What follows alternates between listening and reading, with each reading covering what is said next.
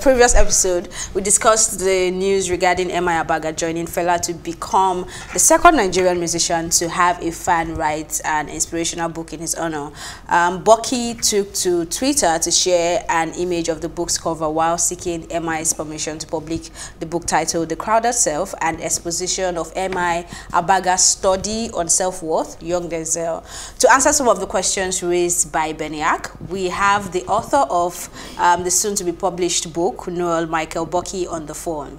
Hello, Noel. Please tell us why um, why wasn't M.I. Abaga involved in the process of the writing of the book? Well, um, I wanted something that will come out of my own understanding of the album. I was not uh, ready to have somebody who will interfere with my perception of uh, the musical album. Uh, all I wanted was just to have it my own way, and then, if possible, uh, get it across to him. If he gives the permission, I'll go ahead to do it. If he's okay with uh, the content and other things. Okay, so since this is strictly your perception of his music career and the album in question, why do you think it's necessary for this book to be published? Let me say, first of all, I started uh, this project for myself. I started making when I when I the album was released uh, I think year before last. I I I got the album and I started listening to it. Got a pen and paper and I was jotting things for myself. And I felt no, this should not just be for myself.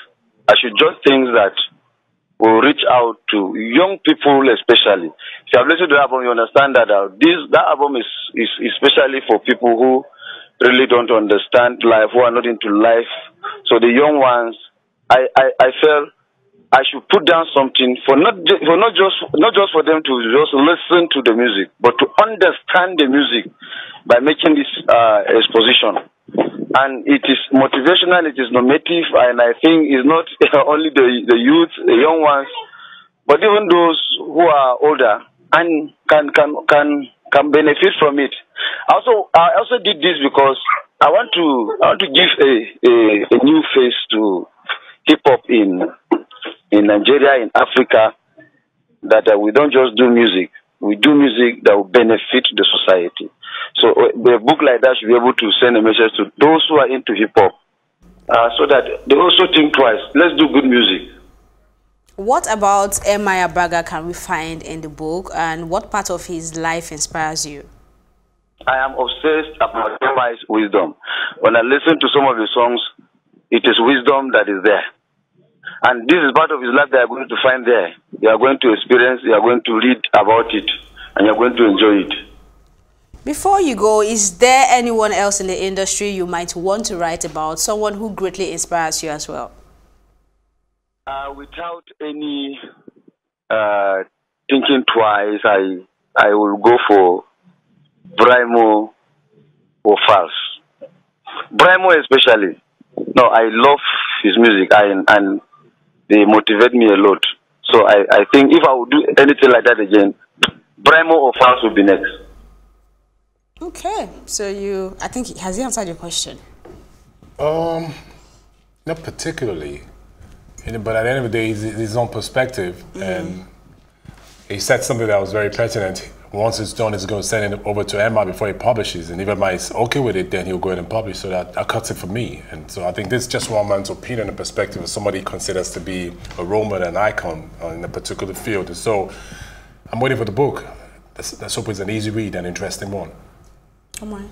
Uh, it pretty, much, it pretty much said what I said earlier. I don't think the book was supposed to be a memoir for us to have insight on M.I.'s life. Um, he's writing because he feels like that he has he's worth that. Um, and the reason why we're talking about it is because he's the only person after Fela that someone has ever come out to actually write a book about. So we keep if I keep to that, it's a good thing. Um, I also like his choices when he said Brymo and Falz.